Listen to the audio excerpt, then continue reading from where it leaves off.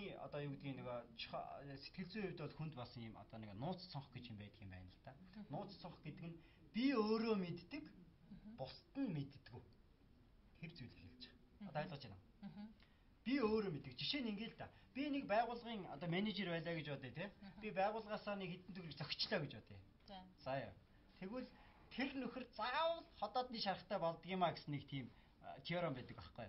Өөрөөр хэлбэл тэр хүн яана тэр нөгөө нэг шалгалт болгон дээр яана миний нөгөө урдны юм баригдчих үедээ те шаналаа сэтгэлэн зовнол хүн гим хийхээрээ стресст ордог шүү дээ. Одоо юу гэдгийг буруу зүйл хийхээр хүн өөрөө их одоо юу гэдгийг стресст өөрөө өөргөө яг зүйл үүндээ хорлдог байхгүй. Яагаад буддистууд те бүгдийн төлөө бүгд одоо одоо тий бусдын төлөө гэж ингээд ингээ яриад байдаг. Яагаад энэ шашныхан бусдын төлөө гэж ингээд яриад байдаг юм. Эний чинь цаана юу явж тэр хүнийг өөрөө өөрийг нь хамгаалж байгаа байхгүй сэтгэл зүй. Тэгэхээр буруу зүйл хийхээр хүн өөрөө стресстэй. Өөрөө бухимддаг. Тэрэндээ шаналдаг, зовдог. Тэгэхээр энэ үед оролцох юм бол ингээд энэ нууц би хүнд ч хэлж чадахгүй шүү дээ. Миний нууцыг чи мэдэхгүй. Дарга маань мэдэхгүй тий. Миний хажууд хамт ажиллаж байгаа ажилчин маань мэдгүй. Тэрийг би ингээ нуугаад яваад байна гэдэг чинь би өөрөө стресстэй байдаг байхгүй эргээд тэрийг гаргачих юм бол би эйгүү байдалд орно. Би муухай байдалд орно ч гэдэг юм. Тэгэхээр одоо юу гэдгийг нууц цонх гэдээ байгаа зүйл шүү дээ тий. Тэгэхээр энэ цонх хүний амьдралд одоо тэр нууц цонхын хэмжээ их л байгаад тах юм бол хүн стресстэй. Тэгэхээр одоо ингэдэг шүү дээ. Эмэгтэй хүн нэг хошин яриа байдаг шүү дээ. Эмэгтэй хүн нууцыг хэр удаан хатгалдаг вэ гэж дараагийн эмэгтэйтэй уулзах хүртлээ гэж юм тийм. Өөрөөр хэлбэл энийг юу гэж хэлэх гэдэг юм гэхээр тэд их цалчаа одоо гэдэг. Энийг бол зүгээр нөгөө давмгаа хуваар нь яаж бүх эмэгтэй хүн бол тийм биш. Тийм гэж. Тэгэхээр яагаад гэвэл ийм байдаг. Найзууд эмэгтэйчүүд ч юм ингээд найзуудын хоорондоо ярилцаад ингээд сэтгэлийнхаа юм ингээд ярьлаа гэж бодъё найзтай. Тэгсэн чинь нөгөө найз нь яадаг вэ гэхээр ингээд ингээд ингээд биднээс нэг багтаа нэг тоглоом тоглодог байсан да нөгөө чихэнд үг дамжуулах гэдэг байна. Тэгээ нөгөө дамжсан үг явсаар өөрт нь ирдэг. Шаал өөр үг болоод нөгөө нь одоо хамгийн сүүлийн хүн дээр очдөг шүү дээ тий. Тэг ингээд ингээд судлаад хахад дунд нь тэр яадаг вэ? Өөрчлөлтөд хувьсаад байсан байгаа байдаг тий.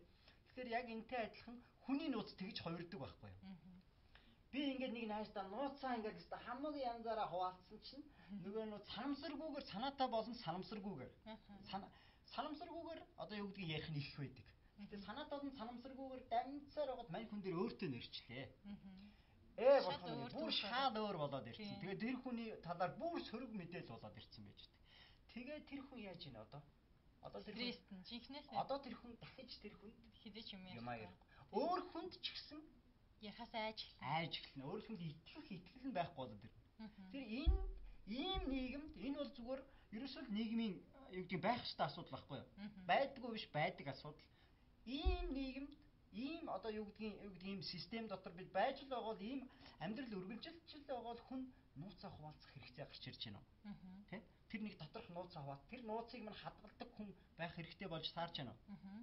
Тэгвэл тэр чин сэтгэл зүйч. Тэр чин сэтгэл засалч. Тэр чин сэтгцэн юмж байхгүй юу та. Тэгэхээр сэтгэл зүйч сэтгэл засалж юмжт бол бүх юмаа яриад тайтгараад тийм боломж бол байнга нийлдэхэд байх нь шүү дээ. Итгэж болох нь хамгийн гол нь.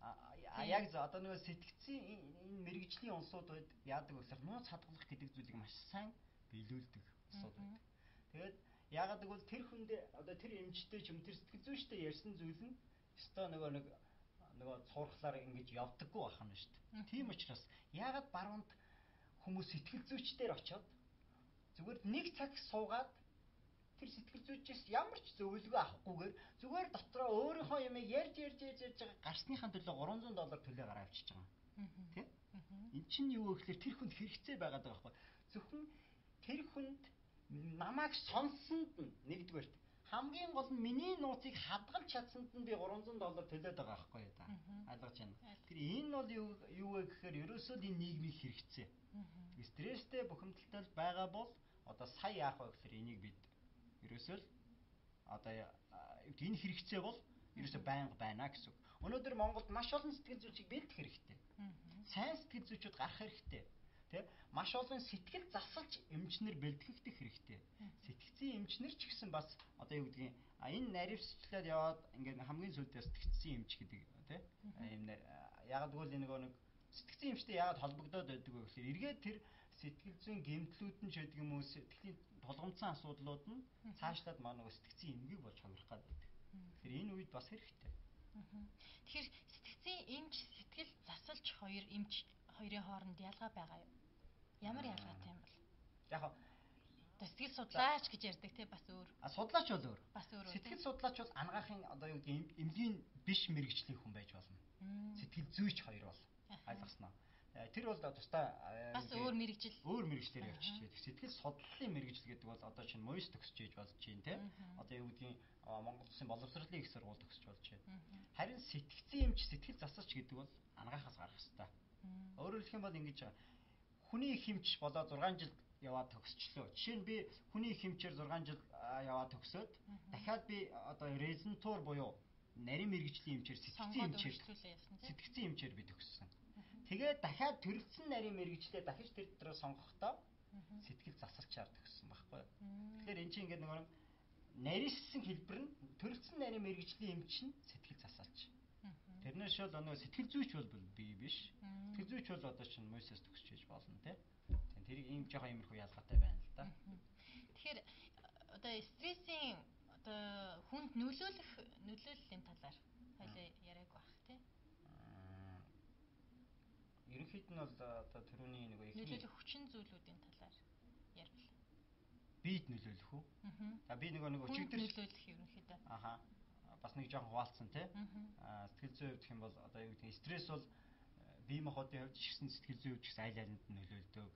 Би ер нь ярьсан юм байна ярьсан юм байна. Тэгээ нөгөө нэг бие махбод янз бүрийн зөрөгч өвдөж болно. Тэгээ дархлаас улардаг учраас одоо юу гэдэг нь гарч хүртэл өвдөж болох нь шүү дээ. Өчтөрийн жишээгээр бол одоо жишээ нь миний эмчээ миний энд ч өвдөд байна, энд ч өвдөд байна, энд ч өвдөд байна, энд ч өвдөд байна гэсэн чинь яг үнэн тэрүүний хуруу нь хугарцсан байж байгаа шээ тий. Яг тэрнтэй адилхан сэтгэл нь өвдсөн хүн зүрхэн ч өвдөд байна, тий. Бөөрн ч өвдөд байна, энэ ч өвдөд байна гэж ярьдаг байхгүй юу? Тэрийг л хэлээд байгаа. Энэ бол одоо юу гэдгийг тэр хүнийг буруутгах чаг асуудал биш л дээ. Чи угаасаа сэтгэл нь өвдсөн хүн өөрөө ирэхгүй тийм байдалд ордог байгаа байхгүй юу? Тэрийг хэлж. За тэгэхээр өнөөдөр ерөнхийдөө бит хоёрын нэвтрүүлгийг энэ төрөд өндөрлөж байна. Тэгээд бидэнд ажлаа зохицуулах хүрэлцэн ирж манай хоёр өдрийн цагийг одоо зориулсан танд маш их баярлалаа. Ерөнхийдөө маш ач холбогдолтой гоё лекцийг биднээс бас ярьж өглөө. Тэгээд танд талархснаа илэрхийлье. Телевизийнхаа зүгээс. Үзэгчтэй хандаж хэлэх үг гэвэл бас танд. За ямар ч байсан танаа телевиз хамт олонд маш их баярлалаа. Сэтгцэн эрүүл мэндийн талаарх энэ мэдээллийг бас нийгэмд их гэдгийг их баг хөргөгддөг энэ мэдээллийг бас хөргөх юм боломжийг олгож өгсөнд баярлалаа. Цаашдаа ч гэсэн тэгээ хамтарч ажиллана гэж би найдаж байгаа. Биднээс гэсэн тантай хамтарч ажиллахад маш сэтгэл хангалуун байх болно. Ингээд үзэгчтэй та бүхэндээ амралтай сайхан өдрийг өнгөрүүлээ гэж хүсээрэй. Ингээд баяр та. За.